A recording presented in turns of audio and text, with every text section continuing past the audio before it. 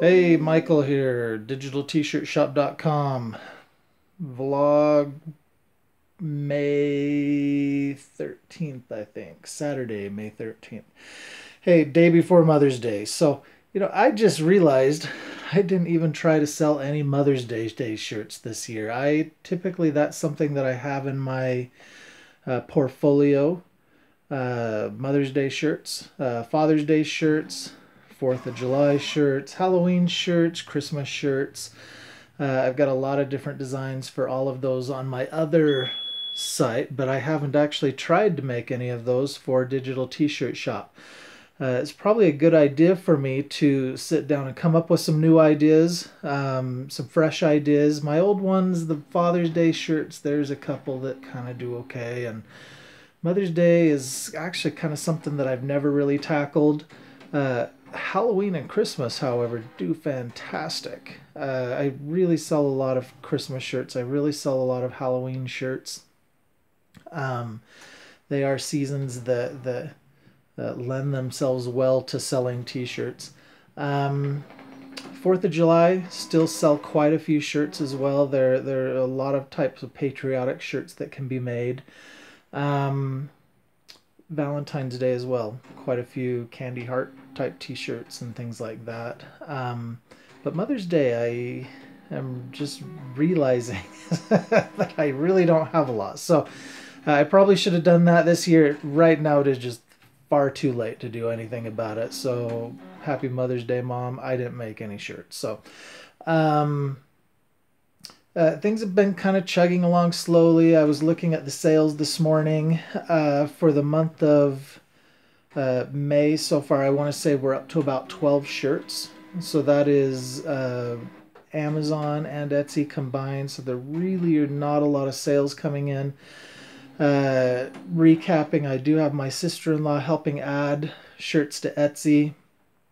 Uh, I think she's been she's added probably a dozen a dozen shirts so far.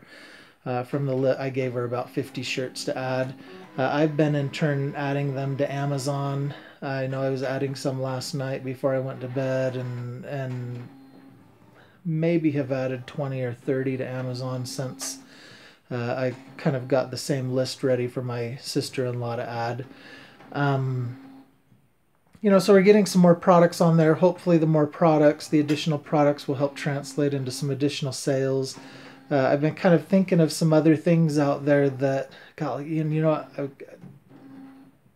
you got to write those ideas down when you have them. I had actually a great idea last night for some shirts, and it's killing me because I can't remember exactly what the idea was. Hopefully, it comes to me again. Uh, I do. I, I usually have my little sketchbooks and things like that, and I'll write things down. And for some reason, I didn't write it down last night. And but I, God, I thought it was a great idea. Um, uh, you know, uh, some sort of pop culture saying that was uh, seemed as though it would be really funny and popular. Oh, you know I think I think that it was, uh, and it's probably stupid. What I, I think I just remembered what it was. I was gonna make I was gonna make lip syncing shirts, shirts about doing lip syncing. I don't know why. I I it's kind of hard because lip syncing and karaoke. I, I, guess I always think of you know karaoke as going and singing karaoke at a karaoke bar. I don't drink, so I don't go to bars and and so singing karaoke in a karaoke bar and making a t-shirt for it isn't like the thing that I would necessarily make a t-shirt about. So I don't necessarily plan on making sing at a bar I'm drunk karaoke t-shirts but lip syncing t-shirts. Oh, and you know what actually inspired it? There's a great new little video by Studio C if you haven't uh, ever watched Studio C. Uh, they have a new lip syncing video and my daughter absolutely loves it. And so I've watched it with her probably 30 or 40 times in the last week. Um, but they do a lip sync battle in the car, and it is just absolutely hilarious. So, anyhow, I, I that's I, I think that's what it was. Is I was gonna make some shirts that had some lip sync phrases on them. Um, maybe it seems funny to me, and it seems like a good idea to me.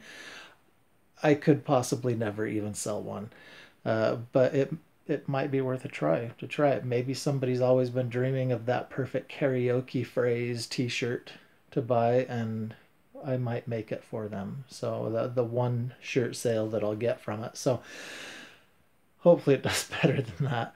So, anyways, um, uh, if you like what you're hearing on Digital T-Shirt Shop, I encourage you to subscribe, like the video, subscribe, uh, and you'll get our videos as they come out. Again, what Digital T-Shirt Shop is doing.